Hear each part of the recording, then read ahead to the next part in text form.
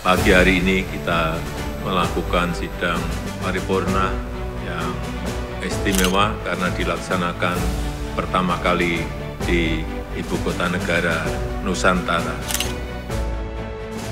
Dibahas bagaimana kita semua mempersiapkan transisi pemerintahan yang juga berjalan dengan mulus, di mana uh, target-target pencapaian pemerintahan hari ini bisa dituntaskan dengan baik, sekaligus kita menyiapkan baseline uh, untuk bisa dibawa di pemerintahan berikutnya.